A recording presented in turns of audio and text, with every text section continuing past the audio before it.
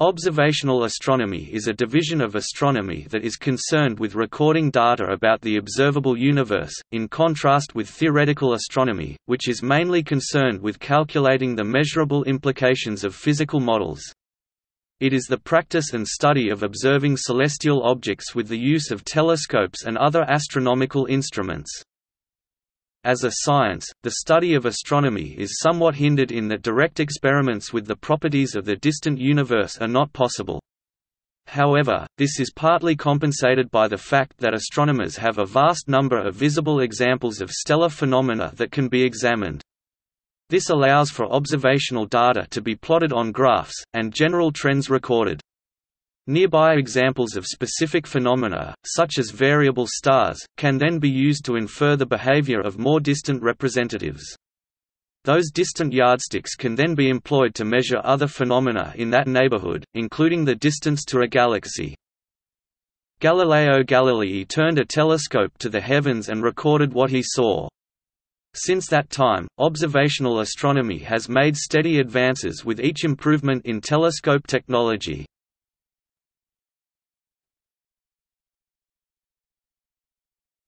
Topic: Subdivisions.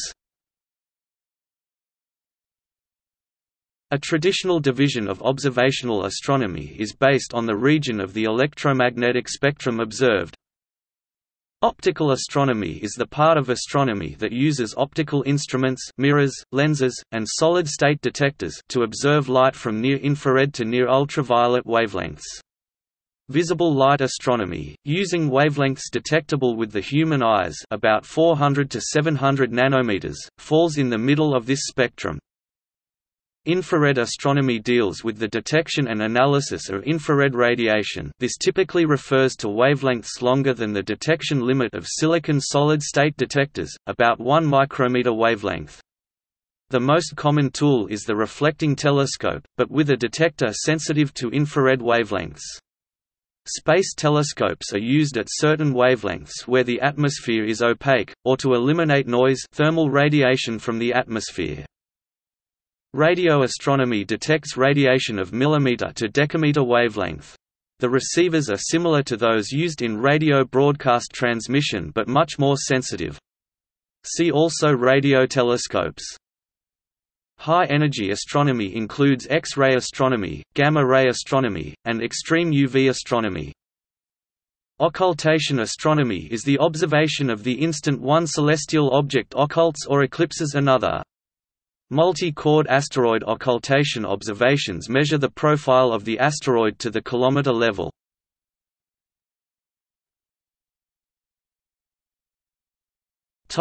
Methods In addition to using electromagnetic radiation, modern astrophysicists can also make observations using neutrinos, cosmic rays or gravitational waves. Observing a source using multiple methods is known as multi-messenger astronomy. Optical and radio astronomy can be performed with ground-based observatories, because the atmosphere is relatively transparent at the wavelengths being detected. Observatories are usually located at high altitudes so as to minimize the absorption and distortion caused by the Earth's atmosphere. Some wavelengths of infrared light are heavily absorbed by water vapor, so many infrared observatories are located in dry places at high altitude, or in space.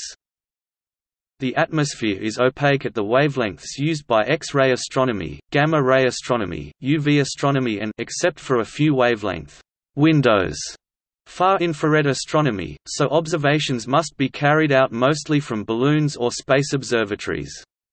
Powerful gamma rays can, however be detected by the large air showers they produce, and the study of cosmic rays is a rapidly expanding branch of astronomy.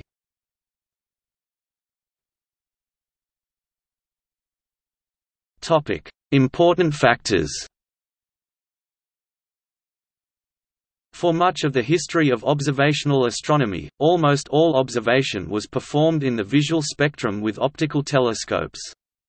While the Earth's atmosphere is relatively transparent in this portion of the electromagnetic spectrum, most telescope work is still dependent on seeing conditions and air transparency, and is generally restricted to the night time. The seeing conditions depend on the turbulence and thermal variations in the air. Locations that are frequently cloudy or suffer from atmospheric turbulence limit the resolution of observations. Likewise the presence of the full moon can brighten up the sky with scattered light, hindering observation of faint objects. For observation purposes, the optimal location for an optical telescope is undoubtedly in outer space.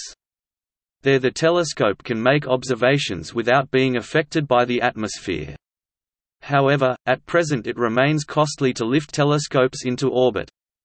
Thus the next best locations are certain mountain peaks that have a high number of cloudless days and generally possess good atmospheric conditions with good seeing conditions. The peaks of the islands of Mauna Kea, Hawaii and La Palma possess these properties, as to a lesser extent do inland sites such as Llano de Chajnantor, Paranal, Cerro Tololo and La Silla in Chile. These observatory locations have attracted an assemblage of powerful telescopes, totaling many billion US dollars of investment. The darkness of the night sky is an important factor in optical astronomy. With the size of cities and human-populated areas ever expanding, the amount of artificial light at night has also increased. These artificial lights produce a diffuse background illumination that makes observation of faint astronomical features very difficult without special filters.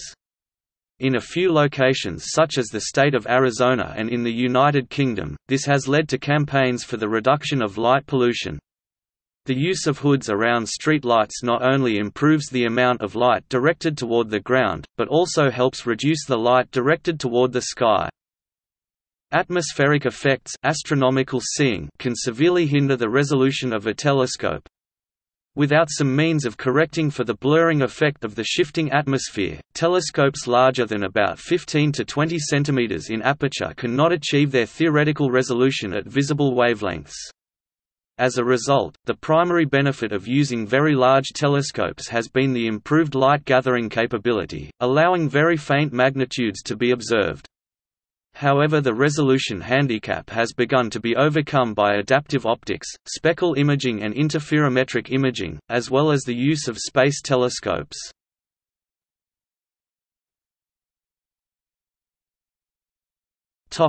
Measuring results Astronomers have a number of observational tools that they can use to make measurements of the heavens. For objects that are relatively close to the Sun and Earth, direct and very precise position measurements can be made against a more distant and thereby nearly stationary background. Early observations of this nature were used to develop very precise orbital models of the various planets, and to determine their respective masses and gravitational perturbations. Such measurements led to the discovery of the planets Uranus, Neptune, and indirectly, Pluto. They also resulted in an erroneous assumption of a fictional planet Vulcan within the orbit of Mercury but the explanation of the precession of Mercury's orbit by Einstein is considered one of the triumphs of his general relativity theory.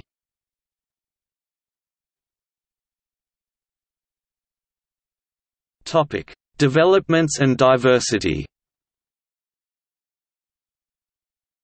In addition to examination of the universe in the optical spectrum, astronomers have increasingly been able to acquire information in other portions of the electromagnetic spectrum.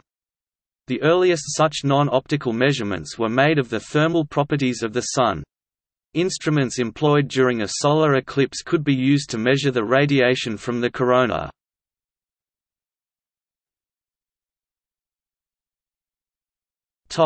Radio astronomy With the discovery of radio waves, radio astronomy began to emerge as a new discipline in astronomy. The long wavelengths of radio waves required much larger collecting dishes in order to make images with good resolution, and later led to the development of the multi-dish interferometer for making high-resolution aperture synthesis radio images or radio maps. The development of the microwave horn receiver led to the discovery of the microwave background radiation associated with the Big Bang. Radio astronomy has continued to expand its capabilities, even using radio astronomy satellites to produce interferometers with baselines much larger than the size of the Earth. However, the ever-expanding use of the radio spectrum for other uses is gradually drowning out the faint radio signals from the stars. For this reason, in the future radio astronomy might be performed from shielded locations, such as the far side of the Moon.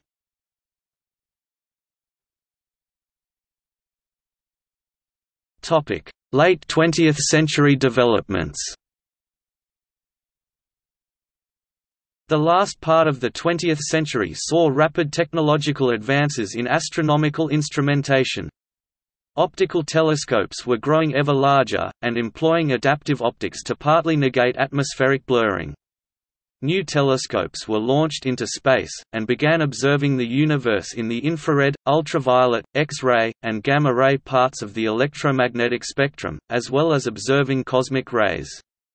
Interferometer arrays produced the first extremely high-resolution images using aperture synthesis at radio, infrared and optical wavelengths. Orbiting instruments such as the Hubble Space Telescope produced rapid advances in astronomical knowledge, acting as the workhorse for visible light observations of faint objects.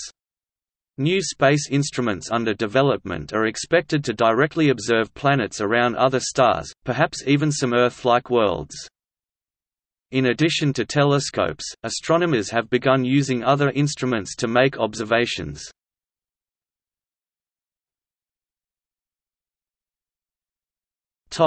Other instruments Neutrino astronomy is the branch of astronomy that observes astronomical objects with neutrino detectors in special observatories, usually huge underground tanks. Nuclear reactions in stars and supernova explosions produce very large numbers of neutrinos, a very few of which may be detected by a neutrino telescope. Neutrino astronomy is motivated by the possibility of observing processes that are inaccessible to optical telescopes, such as the Sun's core.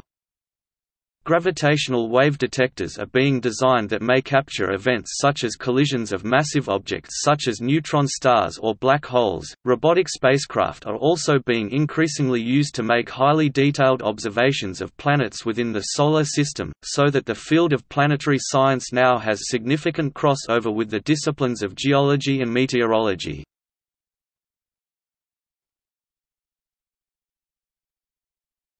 Topic Observation tools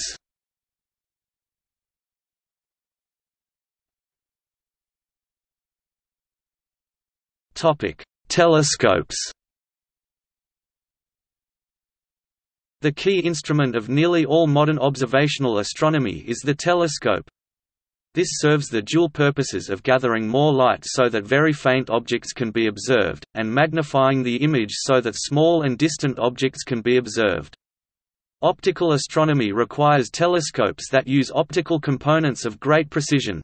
Typical requirements for grinding and polishing a curved mirror, for example, require the surface to be within a fraction of a wavelength of light of a particular conic shape.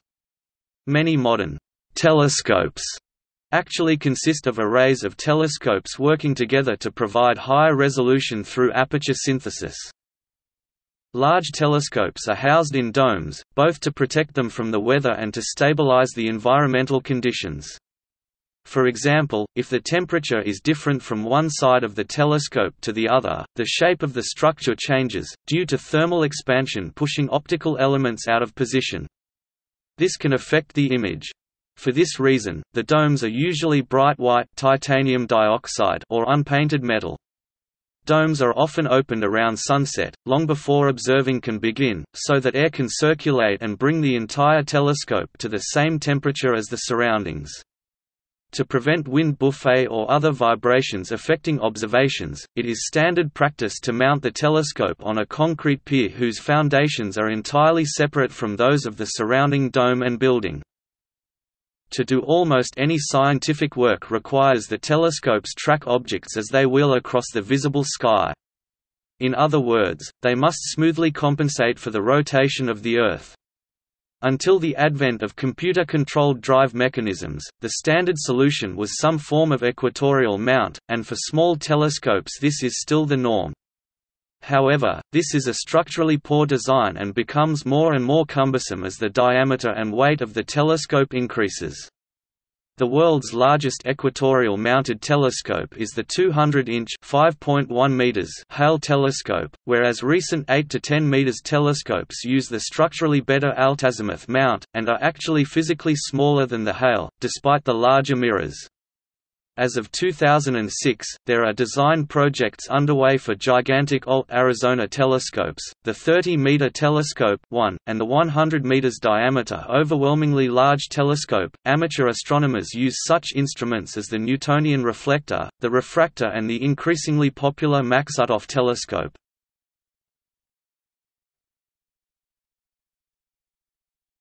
Topic: Photography The photograph has served a critical role in observational astronomy for over a century, but in the last 30 years it has been largely replaced for imaging applications by digital sensors such as CCDs and CMOS chips. Specialist areas of astronomy such as photometry and interferometry have utilized electronic detectors for a much longer period of time. Astrophotography uses specialized photographic film or usually a glass plate coated with photographic emulsion, but there are a number of drawbacks, particularly a low quantum efficiency, of the order of 3%, whereas CCDs can be tuned for a QE greater than 90% in a narrow band. Almost all modern telescope instruments are electronic arrays, and older telescopes have been either been retrofitted with these instruments or closed down. Glass plates are still used in some applications, such as surveying, because the resolution possible with a chemical film is much higher than any electronic detector yet constructed.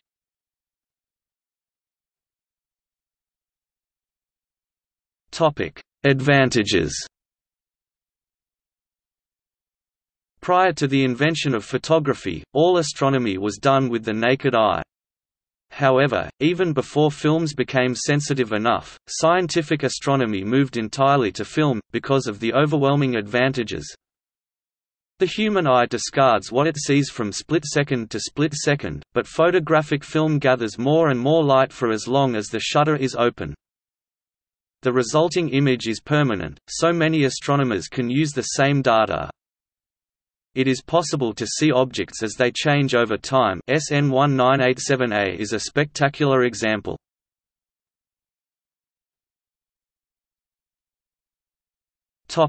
Blink comparator.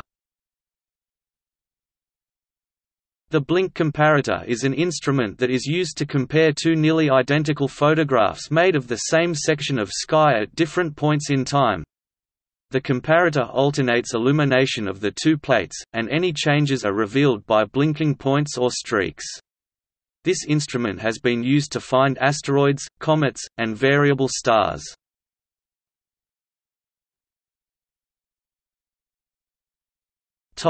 Micrometer The position or cross-wire micrometer is an implement that has been used to measure double stars. This consists of a pair of fine, movable lines that can be moved together or apart. The telescope lens is lined up on the pair and oriented using position wires that lie at right angles to the star separation. The movable wires are then adjusted to match the two star positions. The separation of the stars is then read off the instrument, and their true separation determined based on the magnification of the instrument.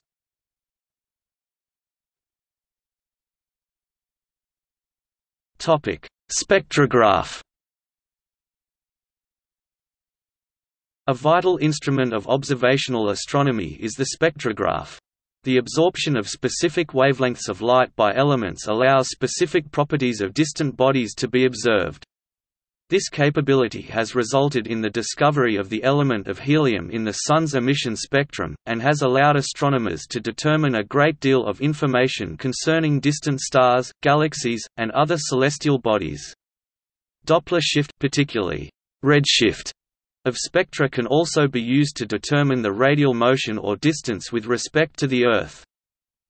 Early spectrographs employed banks of prisms that split light into a broad spectrum. Later the grating spectrograph was developed, which reduced the amount of light loss compared to prisms and provided higher spectral resolution. The spectrum can be photographed in a long exposure, allowing the spectrum of faint objects such as distant galaxies to be measured. Stellar photometry came into use in 1861 as a means of measuring stellar colors. This technique measured the magnitude of a star at specific frequency ranges, allowing a determination of the overall color, and therefore temperature of a star. By 1951 an internationally standardized system of UBV magnitudes ultraviolet blue visual was adopted.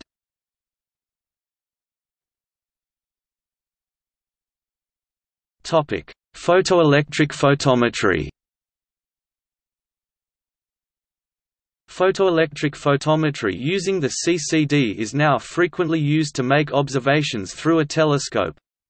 These sensitive instruments can record the image nearly down to the level of individual photons, and can be designed to view in parts of the spectrum that are invisible to the eye. The ability to record the arrival of small numbers of photons over a period of time can allow a degree of computer correction for atmospheric effects, sharpening up the image. Multiple digital images can also be combined to further enhance the image. When combined with the adaptive optics technology, image quality can approach the theoretical resolution capability of the telescope. Filters are used to view an object at particular frequencies or frequency ranges. Multilayer film filters can provide very precise control of the frequencies transmitted and blocked, so that, for example, objects can be viewed at a particular frequency emitted only by excited hydrogen atoms. Filters can also be used to partially compensate for the effects of light pollution by blocking out unwanted light. Polarization filters can also be used to determine if a source is emitting polarized light, and the orientation of the polarization.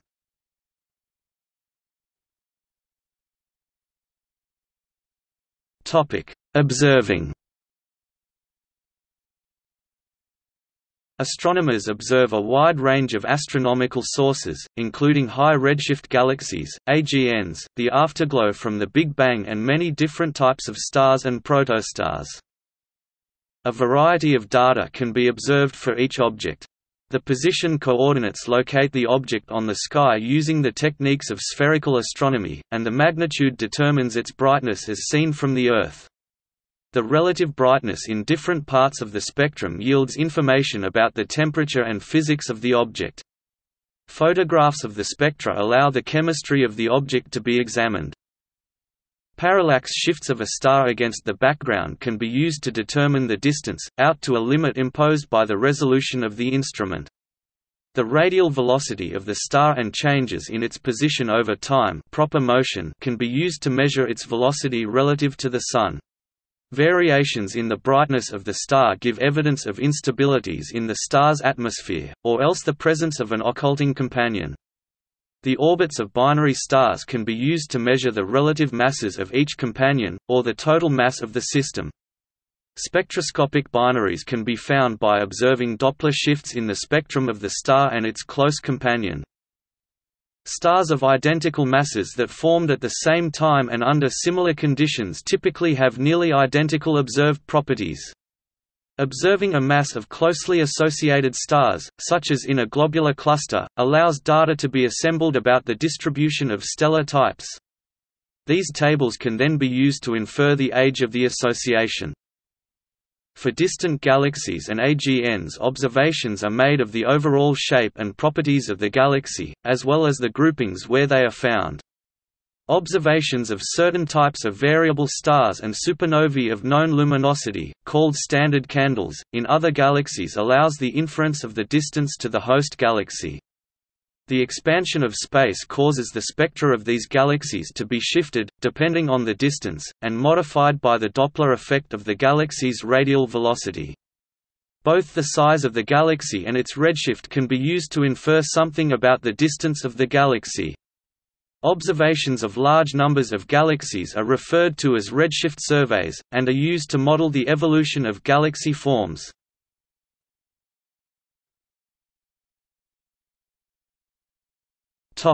See also. Observational study. Observatory. Observing the Moon. Space Observatory Timeline of telescopes, observatories, and observing technology.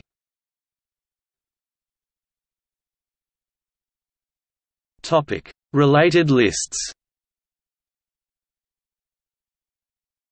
List of observatories. List of radiotelescopes